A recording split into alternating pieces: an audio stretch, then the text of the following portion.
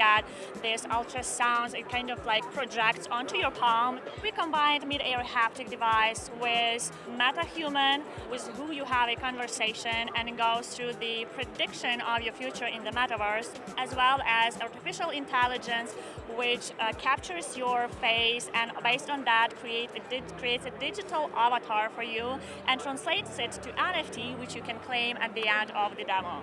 It creates the NFT using a Polygon blockchain technology.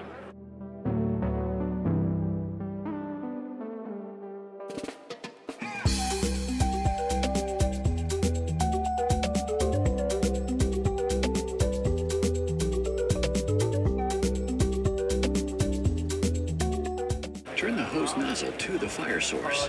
When you uh, wearing VR helmet, you thinking nothing, only this situation, emergency situation. We can simulate it every sphere. For example, medical, uh, education, industrial.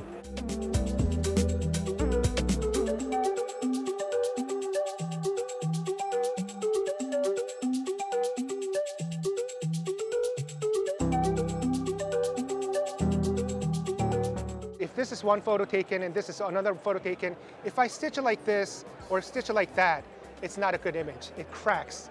But if, the AI seamlessly does this. Google, uh, they started the Google Street View for outside, but there are only limited technology for indoors.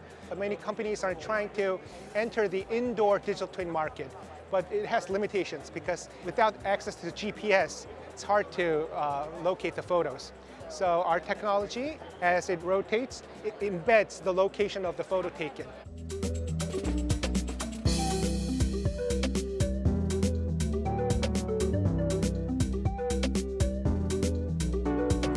We're out showing what can be done. We're talking to a lot of companies that make different products. Maybe, maybe it's an, um, an electronic lock, for example. If we can transmit power to that lock set, you won't have to change those batteries. The whole idea is sustainability. Eliminate cords and eliminate batteries.